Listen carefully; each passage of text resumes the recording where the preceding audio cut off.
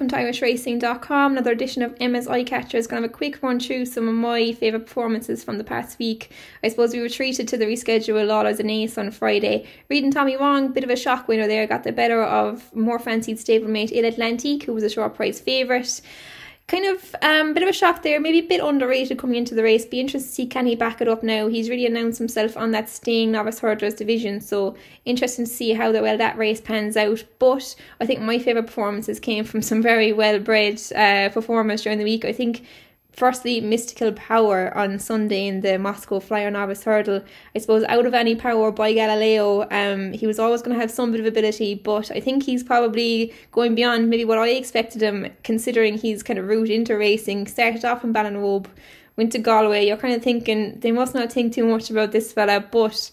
He, I think he might be surprising everyone a small bit. Um, like turning into the home straight there, just the way he accelerated by them. Like I didn't think he didn't look like a winner turning in to me anyway, but definitely has that engine um, from, from both sides of his parents, I suppose. But yeah, his jumping is probably the only worry coming in. Like he's he's gone to favourite for the Supreme now, but like he'll have to slicken up a bit now if he's going if he's going to go straight there. He didn't jump particularly badly, I don't think, but just maybe a little bit slow. Um, just going to have to be a little bit more professional, I suppose, coming into a race like the Supreme. It'd be interesting to see, like, do they want to split himself and Jeriko du Reponet both? Uh, towards the top of the market for JP McManus in the Supreme course, he might want to maybe put one up to the Ballymore just to, to, to balance out his options a small bit. But Willie didn't seem too keen to be stepping this fella out of the two mile division just yet, so himself and Nicky might have to fight that one out closer to the time. But another very well um, bred uh, newcomer actually this time on Monday in Punchestown Maureen, um, I think out of a half sister of Faugheen, and yeah, she she would remind you of him. She's very striking looking, just like Faugheen. She has that big stripe down the face and looks to have an awful lot of ability as well.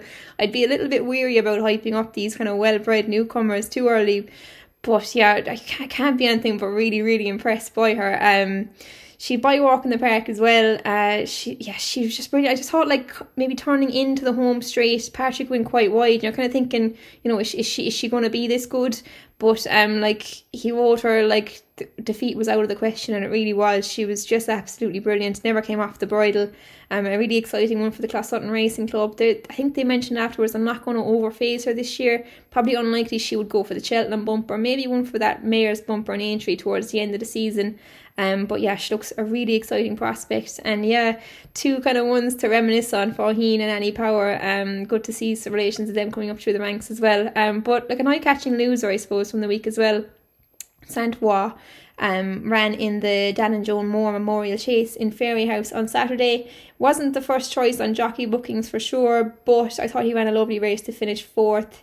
Rated 151. I think if he went to a Cheltenham Festival handicap, I'd say most likely the Grand Annual, he'd have a right crack at that. He was third in the Arkle last year, of course. He's a talented horse, um, and yeah, he could have a big day in him. Yet I just, I, I was, I was taken by the way he ran, and yeah, they could be laying him out for something bigger in the future. So probably one for the tracker for sure. And another eye-catching one actually from the entries. Didn't run during the week, but Captain Conby was entered for the Arkle this week. Um, what caught my eye about that? Look, he'd be a long shot for that race, but he's actually changed stable to Emmett Mullins and changed owner to Paul Byrne. I think everyone knows how well they've done with these kind of acquisitions, so it'd be very interesting to see where he will turn up next and what they can do with him. Um, but yeah, I just thought that was thought that was one to note as well. But to wrap it up, an anti-post bet for the week. I think Silent Approach actually looks a massive price for the Mares' Chase. I thought she ran a lovely race in that grade 3 race in Punchestown on Sunday behind Spillane Tower and Blood Destiny. Two very good horses, I would think. She was actually given the, the two geldings um, a little bit of weight as well which was a big performance. I think she has done nothing but improve since switching to fences. I think if you look at the Mares' Chase market, there's plenty ahead of her in the betting that I wouldn't give um, as much a chance as I would give her. I really fancy Dinoblue for that race, but I think at 33 to 1, she has a real, real each way chance for that kind of race, I think. Um, so yeah, she's she's one to keep on side. But if you've any eye catches yourselves, let me know in the comments below. Um, I'll be back on Friday with a forum scan show with Pat Healy. And just make sure to like and subscribe to the channel if you enjoy the content.